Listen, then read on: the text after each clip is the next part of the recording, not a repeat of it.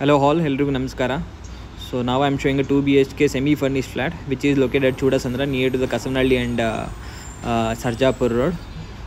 Uh, this is a direct owner property so you don't need to pay any brokerage charges you can contact the owner directly for that you just need to ping in a whatsapp so we'll share the owner number you can have a word with them so two B H K spacious ಇದೆ so kitchen ಬರುತ್ತೆ ಇದು kitchen ಕೂಡ very spacious ಇದೆ ಆರಾಮಾಗಿ ನೀವು ಎಲ್ಲ things ಇಟ್ಕೊಳ್ಬೋದು. ಮತ್ತು ಸಜ್ಜ ಎಲ್ಲ ಮಾಡಿದರೆ ಎಕ್ಸಾಸ್ಟ್ ಫ್ಯಾನ್ ಕೂಡ ಇದೆ ಸೊ ವೆಂಟಿಲೇಷನ್ ವಿಂಡೋ ಕೂಡ ಇಟ್ಟಿದ್ದಾರೆ.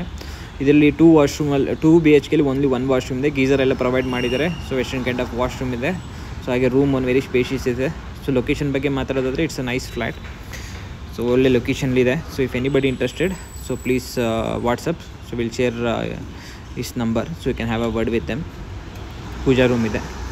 So and also please support and subscribe the channel so will make more this kind of video so where you can save the brokerage wash ಇದು fan ಕೂಡ ಇದೆ.